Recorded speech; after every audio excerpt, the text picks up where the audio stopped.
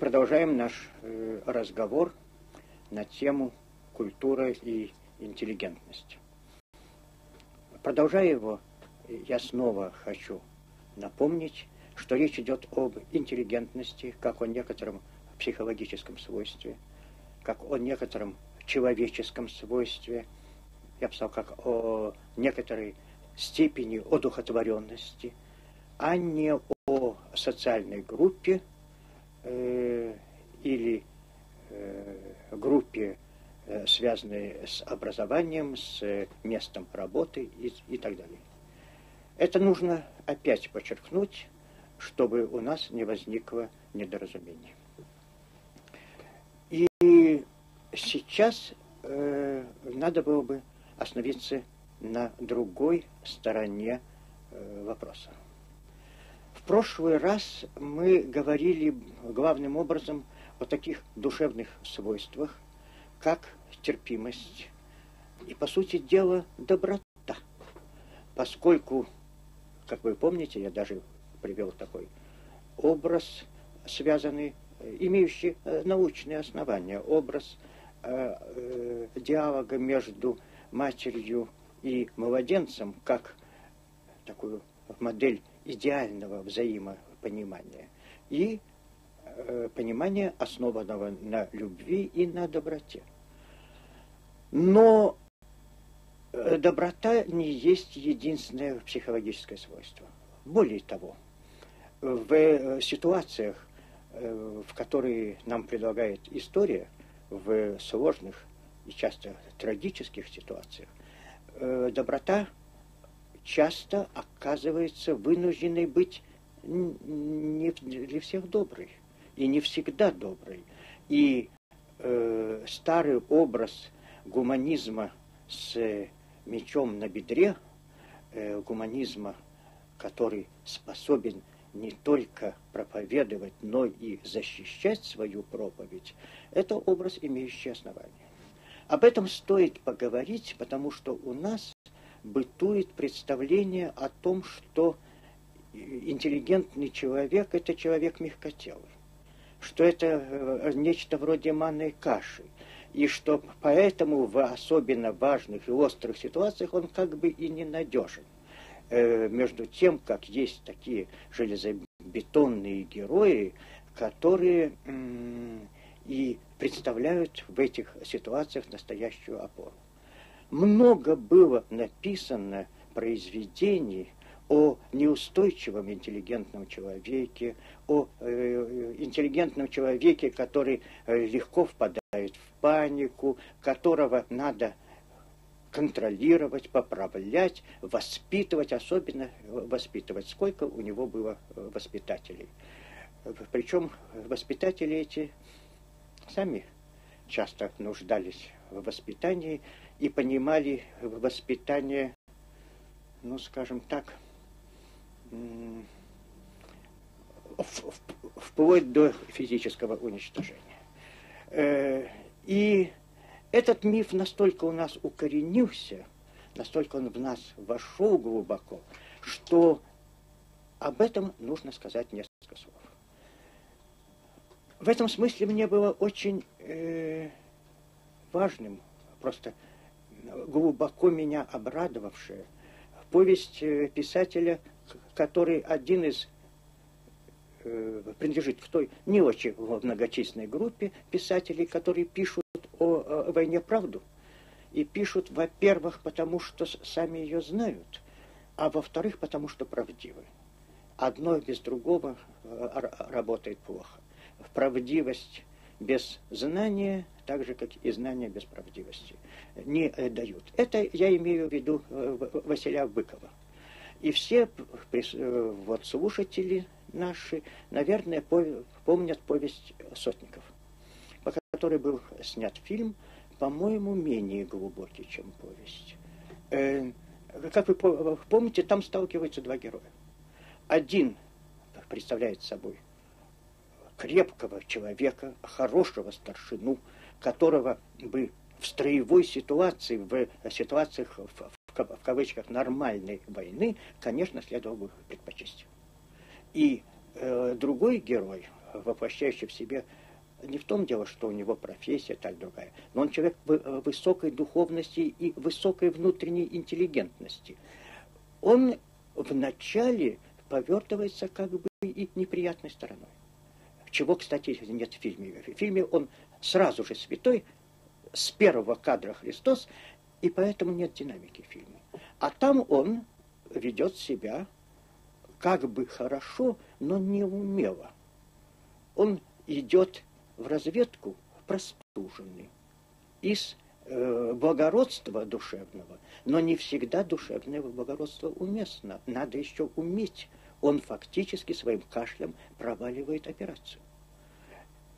Но когда они попадают в ситуацию, где уже не физическая сила, не умение, не те э, качества человека, которые в обычной э, жизни дают преимущество человеку, э, ну вот, типа старшины, как э, второй герой, э, Рыбников.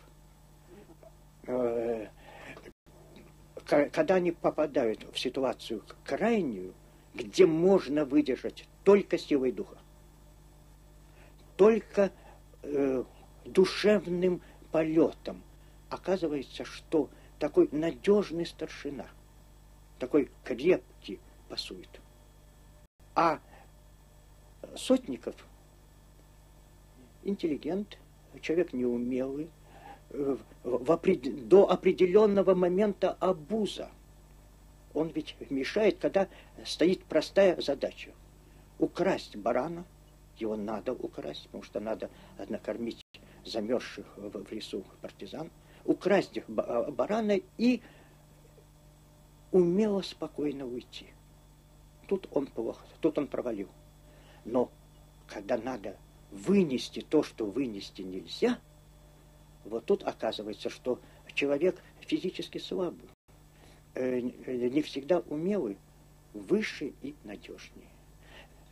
Есть еще одна повесть другого тоже очень правдивого писателя, Виктора Некрасова. Он давно уже написал такую повесть «Судак» у него – очень без претензий, правдивая, небольшая повесть о лейтенанте, над которым все тоже как-то посмеиваются. Он судак, его так зовут, на нем форма сидит плохо, он штатский глубоко человек. Но там, где надо проявить силу духа, оказывается, что внутренняя интеллигентность – это та крепость, которую взять труднее, чем физическая сила.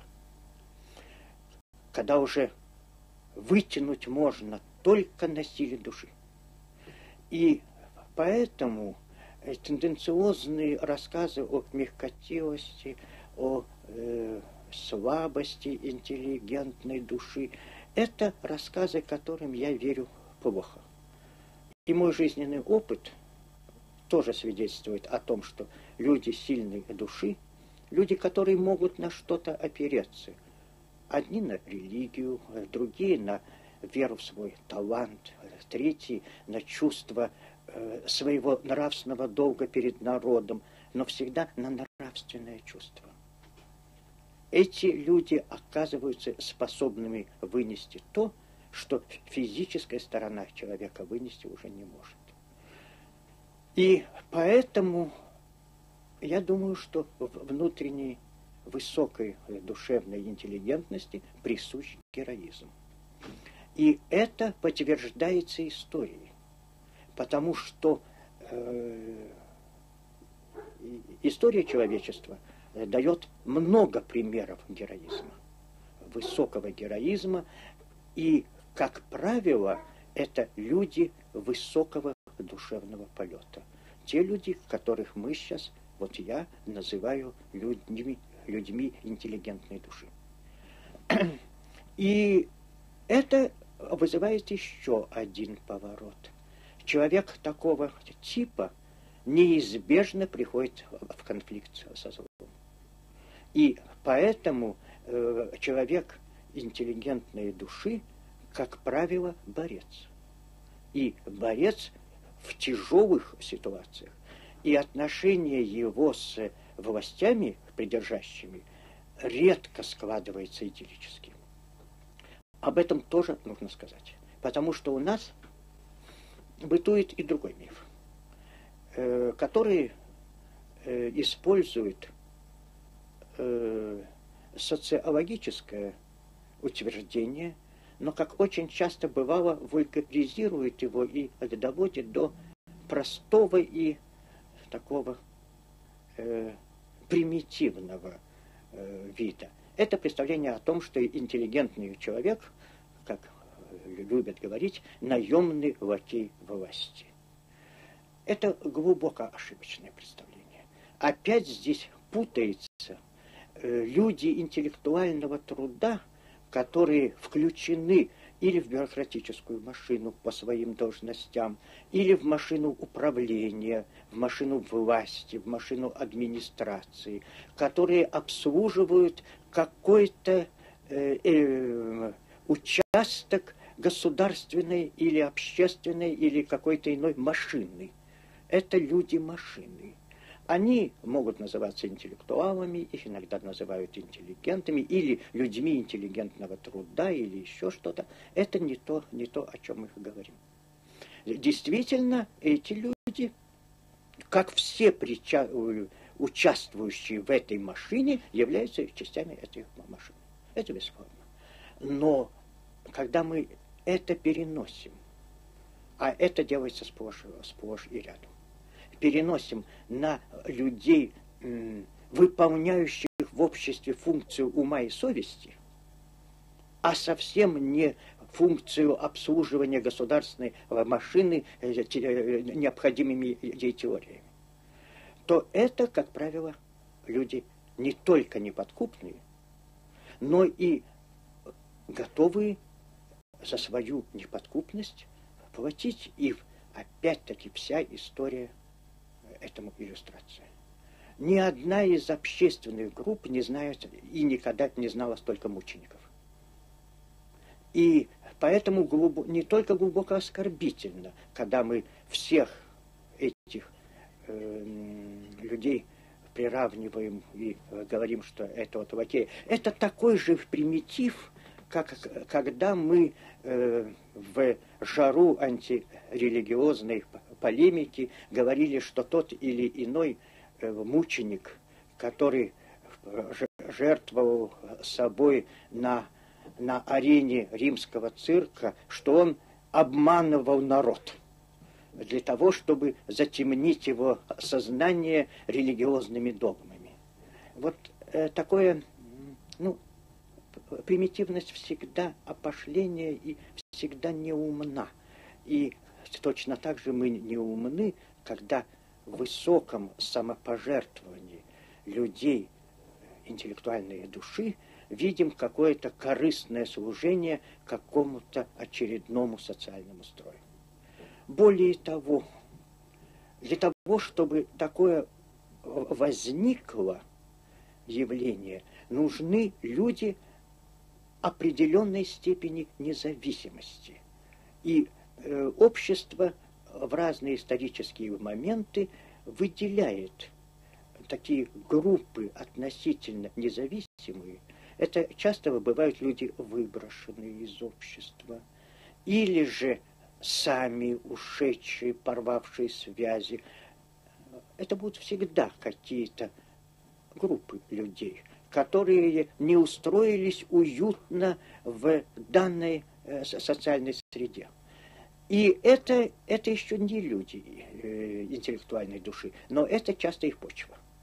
Это э, часто та среда, из которой они вырастают. Мы будем встречать таких людей на разных этапах исторического развития. И э, автоматически мы никогда не скажем, что это вот интеллигентность, воплощенная в людях. Но мы скажем, это среда, где она может зародиться. Так, например, в средние века возникают определенные группы. Э, в России их э, называют изгоями, э, на Руси называют, люди, которые не уместились, как-то не пригрелись в обществе, которые в каждой среде чужие. Им неуютно, они критики. Они, э, конечно, далеко не всегда они идеальны. И точно так же, как разбойный элемент сливается с, с элементом антифеодального крестьянского протеста, это ведь тоже люди, которые не нашли себе места, убежали вольница. Точно так же и люди более широкого ума, более напряженной совести, а иногда просто беспокойные, э, уходят, скитаются, становятся бродягами, часто интеллектуальными бродягами, образованными бродягами. И это такая почва, среда. Я говорю, например, о тех людях, которых в Европе в XII веке называли вагантами. Вагантами, то есть бродячими. Это были шкалеры. А школяр в средние века – это, в общем, социальное положение. Пока он при том или другом университете – или при той или другой монастырской школе у него есть социальный статус. Но вот он переходит от одного места в другое и начинает бродить по дорогам. Э, шкалеры, монахи, есть странствующие ордена, есть нищенствующие ордена, есть полопники – то есть есть люди, которым ходить положено. Они ходят, потому что таково их место на земле. И в средние века это отнюдь не э, редкий случай, потому что вообще земля – это место паломничества.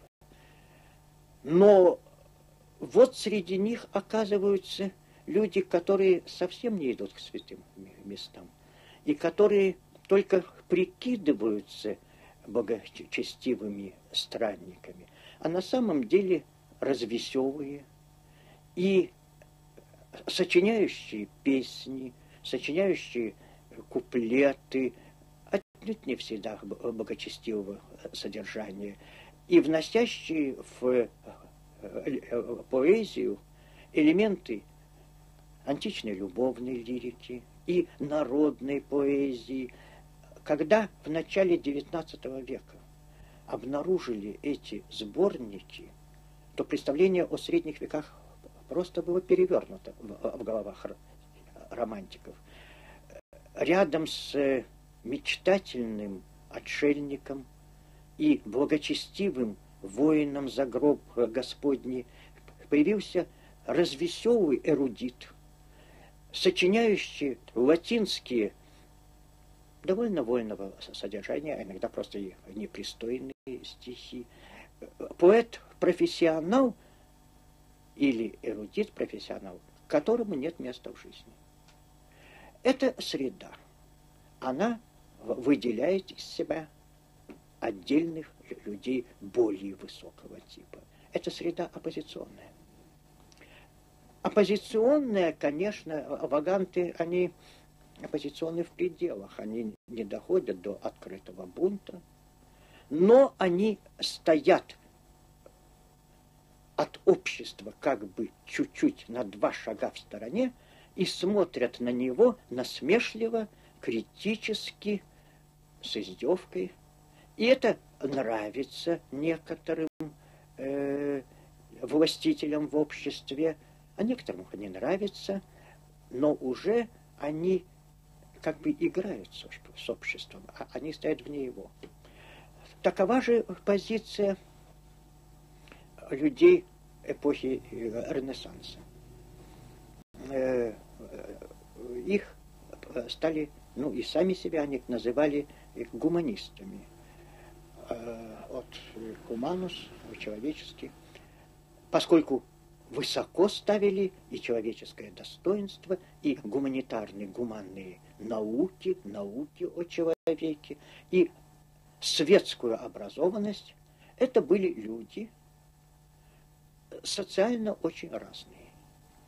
Там были и э, высокие иерархи церкви, отдельные гуманисты, ну как папа Николай V, э, даже занимали папский престол. Они часто были э, служителями, ну как Николо э, Макиавелли, который долгие годы служил э, Флорентийской республике. Но при этом они не были просто служащими, они не были просто иерархами. Они еще образовывали такое братство людей культуры особое, незафиксированное, но легко узнающее друг друга, как, скажем, Томас Мор узнал Эразма э, Роттердамского, э, когда тот явился к нему и, не представившись, но продемонстрировал свои знания, и Мор вскричал, ты или Эразм, или сам дьявол. Э, а, они узнавали друг друга, как тайные заговорщики, и действительно были в этом мире как бы отдельным телом, э, заговором людей ума, людей культуры. Но э, отношения их с властью были сложными. Они редко приходили в конфликт. И в этом смысле э, можно так протянуть ниточку к другому, к той республике философов, которая сложилась в XVIII веке в Европе. В XVIII веке, веке, который сам себя называл веком просвещения, и который считал, что он великий век, потому что это последний век несчастья человечества. Это последний век, когда люди – обремененные суевериями, обремененные предрассудками, обогренные кровью предшествующей нелепой человеческой истории, увидели свет, свет разума. И теперь, ведь не может же быть, чтобы люди, которые увидели свет, остались бы по-прежнему жить в темноте. И вот сейчас на пороге двух веков, они ждали XIX век, на пороге двух веков происходит великое превращение. Как э, скажет Карамзин, мы чаяли великого соединения теории с практикой. Философы создают теорию, а сейчас наступит практика, которая будет воплощена в всеобщем братстве людей – Помните гимн к радости Шиллера «Обнимитесь, миллионы». Э, и Карамзин молодой мечтал, что если бы он мог встать на высокую гору и собрать все человечество вокруг себя и сказать «Братья, обнимитесь!» и все бы со слезами друг друга обняли, вот тогда он мог бы спокойно отдать свою душу Господу. Это мечты юноши. Карамзину придется пережить в них горькое разочарование. Но это мечты эпохи. Герцен позже писал, никогда еще грудь человеческая так легко не дышала, как великую весну 90-х годов. Вот великая весна 90-х годов, которая привела отнюдь не к лету, а к кровавым событиям еще неслыханного до того масштаба сначала к революции, к террору, а затем к войне, которая с 92 до 15 года сотрясала всю Европу от Гибралтара до Москвы. И вот в этой обстановке ожидания философы, а их было немного, их было порядка двух десятков человек и в разных странах. От Петербурга до Лондона, но столица их была, конечно, Париж. И эта группа, которая была на самом деле с такими же людьми, как и другие люди, и также доступна и человеческим страстям, и э, зависти, и ревности, и раздираемо противоречиями. А вместе с тем они были едины в одном. А они себя чувствовали апостолами э, нового века. И искренне верили, что их слово создает новый мир. И это слово, которое объединяло всех, было слово терпимость, толерантность, толеранс. Терпимость, которая противостояла в их сознании средневековой нетерпимости, ненависти, э, стремлению силой навязать свои взгляды. Но очень скоро эти люди столкнулись с тем, что терпимость, чтобы не превратиться в бессмысленное слово, должна быть словом борьбы. Не, не случайно их противники бросили им в одной из сатирических песен такое, как бы, кличку «толеранс», э, «толеранс», то есть терпимые нетерпимцы или нетерпимые терпимцы. Вот те, кто как бы проповедуют терпимость, а сами нетерпимы. Это, между прочим, э, частый поворот дела – когда э, враги демократии чувствуют, что они потеряли свои э, э, позиции, они начинают взывать к демократии и говорить, что это не демократично подвергать их э, такой острой критике, что надо быть терпимыми. Поэтому э, само слово терпимость ставило вопрос и о энергии этого слова и о борьбе. И здесь я позволю себе напомнить один эпизод. Речь идет о, о Вольтере. Я специально останавливаюсь на Вольтере, потому что э, многое и в человеческом поведении, и в личности этого великого человека, действительно великого человека, нас сейчас раздражает. Вольтер нам сейчас не кажется э, таким апостолом истины, э, и уж тем более личные свойства его далеко не, ну, как говорил Пушкин, нуждаются в оправдании. И, все-таки я хочу привести в пример его. Именно речь пойдет о терпимости.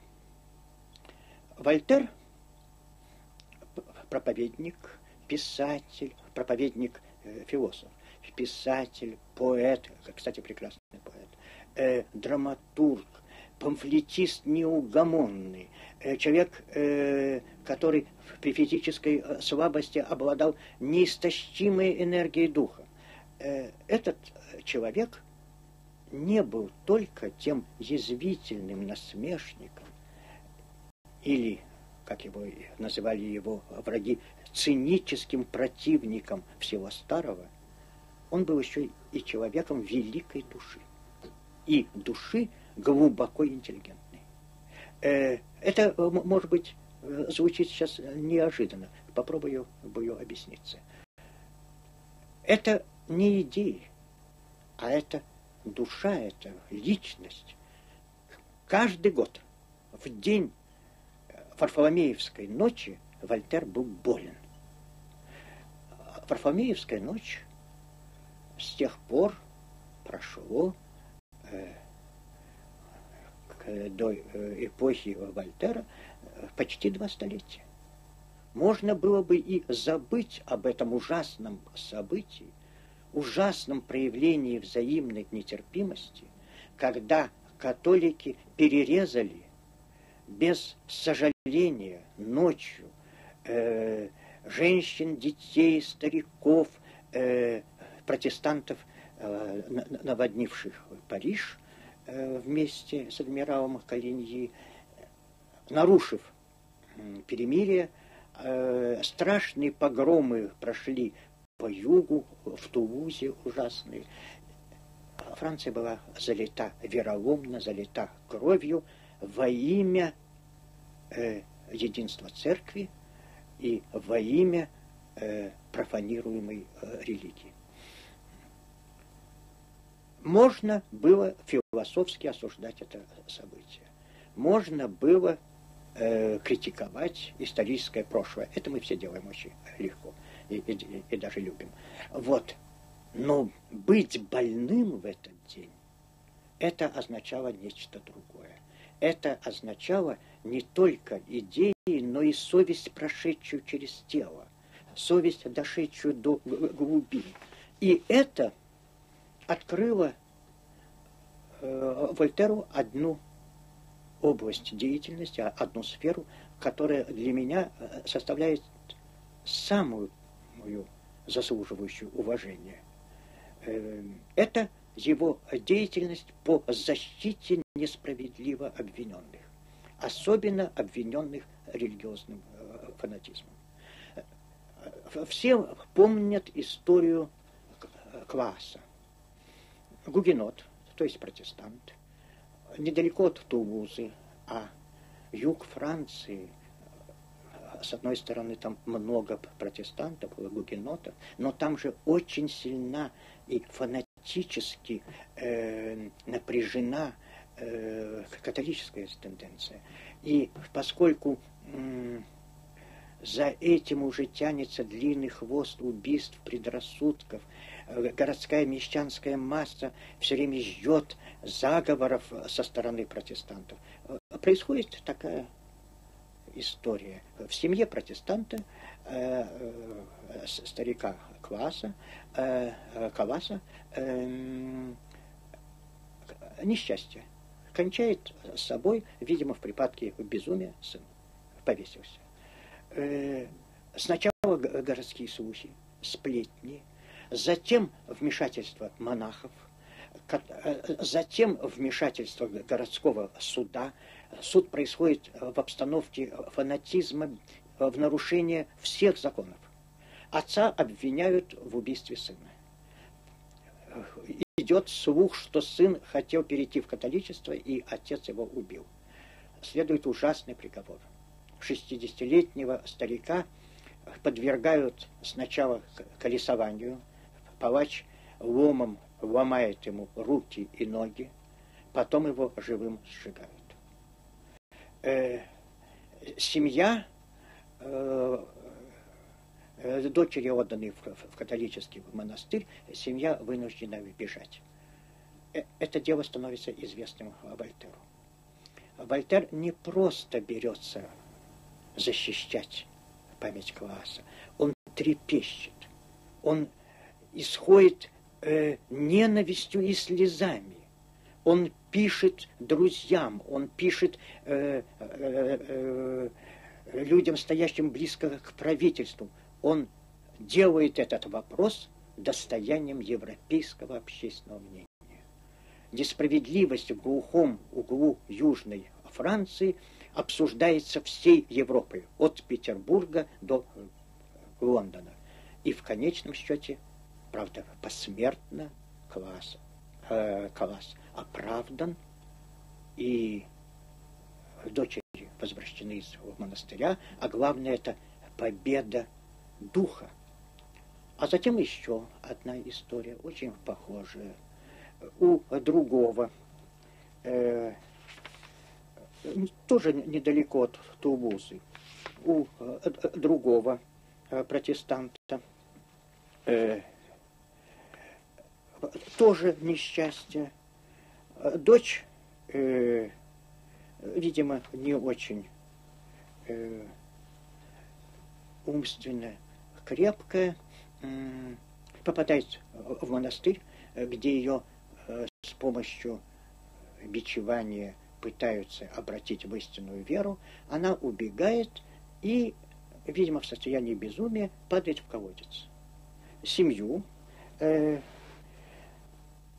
мирную, э, провинциальную, тихую э, семью э, сервенов обвиняют в убийстве из ритуальных со со соображений. Э, семье удается бежать, но они заочно приговорены к смерти. И это дело. Если почитать письма Вольтера этой поры, они писаны кровью. Я старик. Я плачу от того, что принадлежу к этой ужасной нации.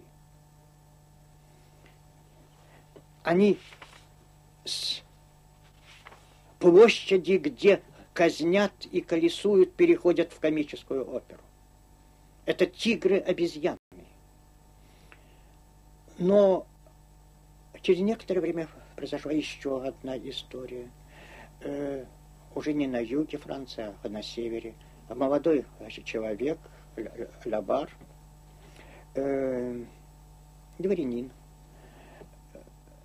стал предметом ревности, поскольку одна дама, настоятельница в монастыря, оказывала ему предпочтение, которое до этого она оказывала одному судейскому. И э, судейский этот обвинил молодого человека в кощунстве. У него сделали обыск у молодого человека, нашли сочинения Вольтера. И еще некоторые довольно вольные романы. Его обвинили в оскорблении святыни, а тут как раз кто-то на мосту поцарапал распятие. С ним поступили ужасно. Ему э, вырвали язык, отрубили в правую руку и потом сожгли. Вольтер таким образом, когда он орудием насмешки боролся с, с фанатизмом, совершенно не был человеком, который в кабинете спокойно выбирает способы борьбы. И сейчас легко нам, глядя назад в середину XVIII века, сказать, что мы бы поступили иначе, чем Вольтер, и, может быть, не впадали бы в его крайности насмешек.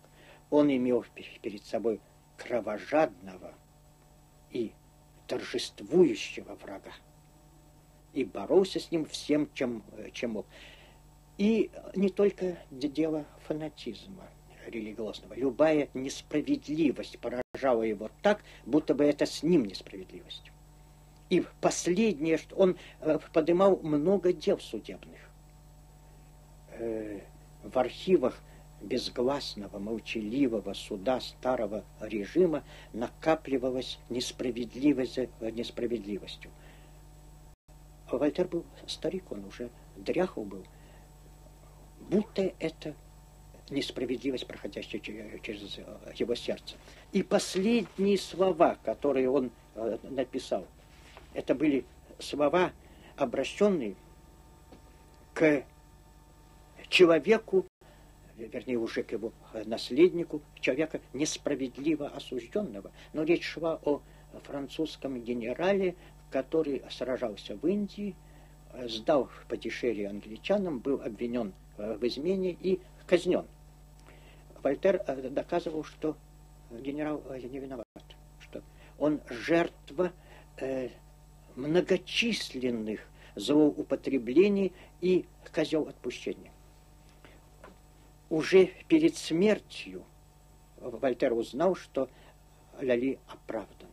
И последнее, что он э, написал, умирающий воскресает, узнав великую весть.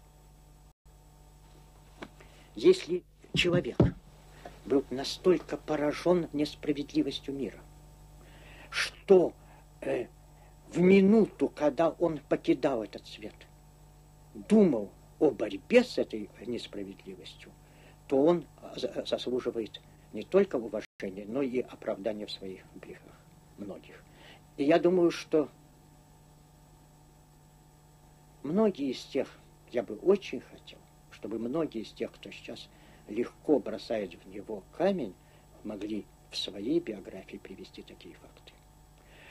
Итак, защита толерантности, защита гуманности требует смелости.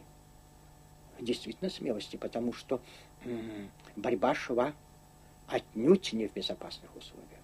И э, не единственный Вольтер. Мы еще будем видеть длинную галерею людей совести.